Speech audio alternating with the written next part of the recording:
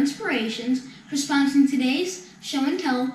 Today, I'll be showing you four different Afghans that I've made, and two of the Afghans use a chunky chenille yarn, where I'm actually using a crochet hook, and the other two Afghans, I'm using loop yarn, and I'm only using my fingers. So first up, we have this beautifully waffle textured blanket. It is actually called the Bernat Easy Baby Waffle Blanket. And it is a baby blanket, but I wanted mine to be larger because I made this for my mom because the waffle stitch is her favorite. So I changed up the multiples to make it larger and I used the Bernat Blanket twist yarn and I really enjoy Bernat Blanket twist yarn because the twist makes your stitching look very nice and it sort of tones it down but still it has very good stitch definition throughout your Afghan. And it's the same Bernat blanket that we all know and love, the chunky chenille. And the color I used here is called Purple Haze, and this color is called Sea Breeze. And I made a similar Afghan using Purple Haze, and my crochet friends from around the world really enjoyed it, so I decided to make another one with a slightly different textured stitch. And this used a 9mm crochet hook, and I used seven balls of the Bernat twist yarn because with the waffle stitch, it's a yarn eater because it's short rows and lots of post stitches. And with when you have lots of squares and lots of boxes with the waffle stitch, I think it can get be a little monotonous with just just the waffle. So I wanted to kind of spruce it up a little bit. So on all four corners, I decided to make a really big and fun tassel, and I think that added a really nice touch, and it really added some an, another element of texture besides just the waffle, so it kind of toned it down a little bit, and there was two parts playing. So that is the waffle stitch blanket, and this is my mom's favorite stitch.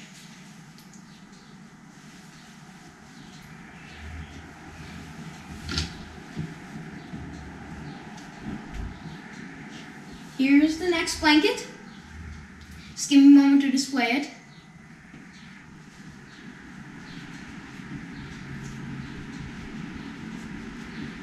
Go.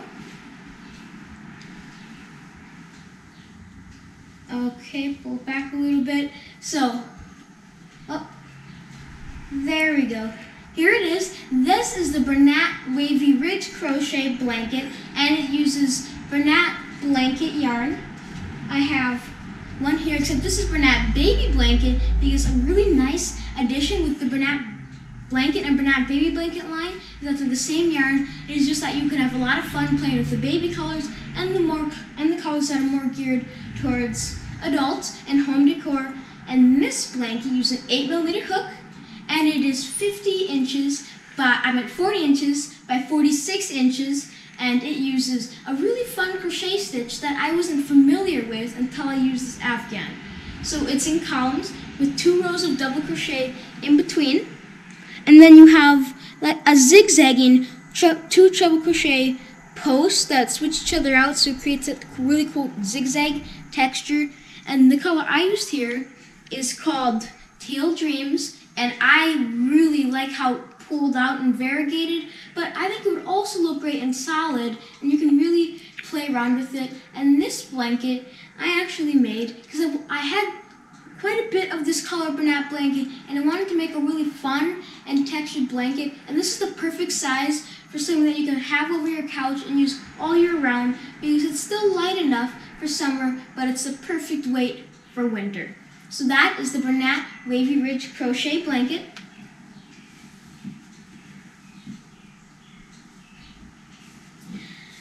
Next, we'll be getting into our two loop yarn blankets. And for loop yarn, I'm only using my fingers.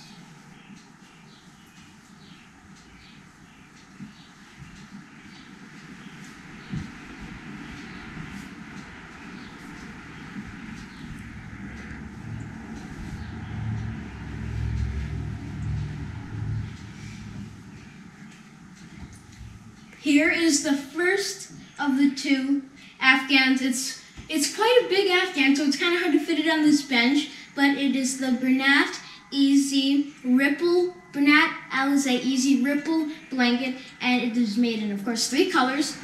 I used slate grays, which is a variegated gray color, cream, and black, and I love the way those neutral tones blend together. But when you have the Bernat Easy Loop yarn, there's so many fun color options, you can really play around with it. I like to mix variegateds and solids, and matter of fact, I made this exact same blanket in really fun bright colors. And those colors were bright blue, bright purple, and bright rainbow. So check that out on my Instagram page. It's the exact same blanket, but it looks completely different because of the colors. And this uses a chevron stitch, which just uses basic increases and decreases, and I think it's something that people who have learned the knit stitch could just do right afterwards, and it is a generously sized blanket. It's 55 inches wide by 65 inches long, but it's easily customizable. And since it's chevron, it's quite a yarn eater because of the length. There's a lot more stitches, so it uses nine balls of Bernat Easy Loop yarn. A normal knit stitch afghan would use six. So this is quite a lot of yarn, but I really think it's a great thing in the end. And this is a very simple pattern, like I said, and you can really have fun with the colors. And this one, I personally love just the more neutral tones, but my younger sister, she loves the bright one. And remember, all of these patterns are available on yarnspirations.com. So that was one of my loop yarn blankets.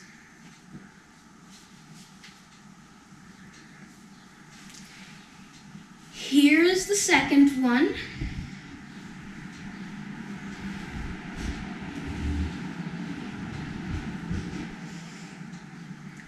So this is the Bernat Easy Spaced Garter Ridge blanket and it uses Bernat Easy loop yarn and this is the color Denim Blues and it's more of a simpler afghan because it has sections of knit and then three rows of garters so you have the ridges and then there's another section of knit but it's actually my one of my crochet friends from around the world's favorite afghan because if you look at the Bernat Easy loop yarn you can see how it pulls in different balls for example right here you have a strip of blue down the center and then it switches out into white and down there you have three sections of blue cream and it just pulls in its own manner and I think it's really fun. That's why on my website I like to call it the color pool blanket. And this blanket is quite simple and it's a pretty nice size too. It's 50 inches by 56, but I wanted to make mine a little longer, so I just made it longer and now I mine is 50 inches by 65 inches.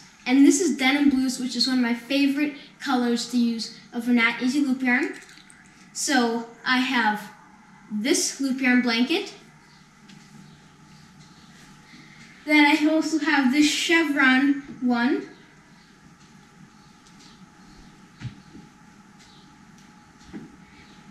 I'm going to pile them all up here so you can see all of them.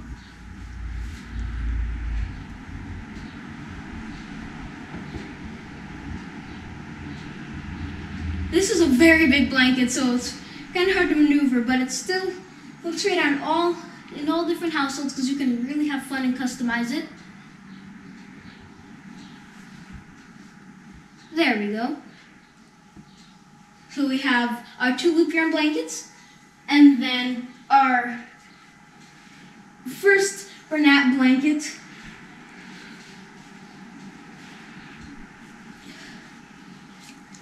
All right, okay, here we go. There we go. And then now we have the waffle. The, the waffle stitch creates a very heavy and thick stitch, so it eats up quite a lot of yarn, but it's really great for winters, especially here in Wisconsin, where winters are just frigid. But here they are, my four blankets. Remember, this is the waffle stitch using Bernat blanket twist yarn. This is the Bernat wavy ridge blanket using just the regular Bernat blanket variegated.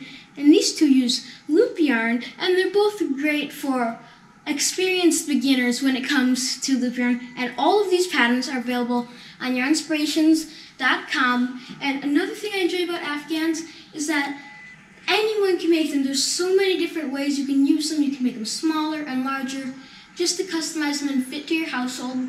And I hope you enjoyed this blanket show and tell.